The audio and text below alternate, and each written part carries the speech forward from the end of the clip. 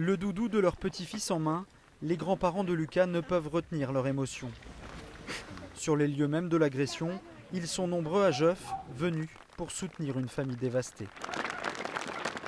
On est déchirés. On nous a enlevé une partie de nous. Et mon fils, on lui a enlevé son sang, sa chair, son bébé. Et la maman, idem. Non, on attend qu'il se réveille et, et en espérant qu'il n'y aura pas trop de séquelles. Jeudi dernier, le petit Lucas, 7 ans, agressé par un voisin, a reçu plusieurs coups de couteau. Trois jours plus tard, c'est tout un village qui fait bloc pour dénoncer une violence inacceptable.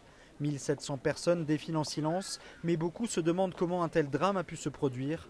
L'auteur présumé de l'agression était déjà connu de la justice pour des faits de violence. Je pense qu'on touche pas un enfant. Surtout une personne de 30 ans qui touche à un enfant, c'est faible quoi. C'est un geste qui vous révolte? Ah ouais. On n'est plus tranquille avec nos enfants. C'est vraiment l'acte d'un fou, l'acte d'un barbare. Quoi. C'est le gosse. Qu'est-ce qui- qu'est-ce qu'on peut, comment on peut en vouloir à un gosse à ce point-là? Surtout de la colère. C'est surtout ça. Contre, bah, parce qu'en en fait, ça ne devrait pas arriver sur, euh, sur des enfants en, en bas âge comme ça. Quoi. L'auteur présumé de l'agression a été arrêté jeudi. Directement après les faits, il les a reconnus. Le petit Lucas, lui, est toujours dans un état grave, plongé dans un coma artificiel.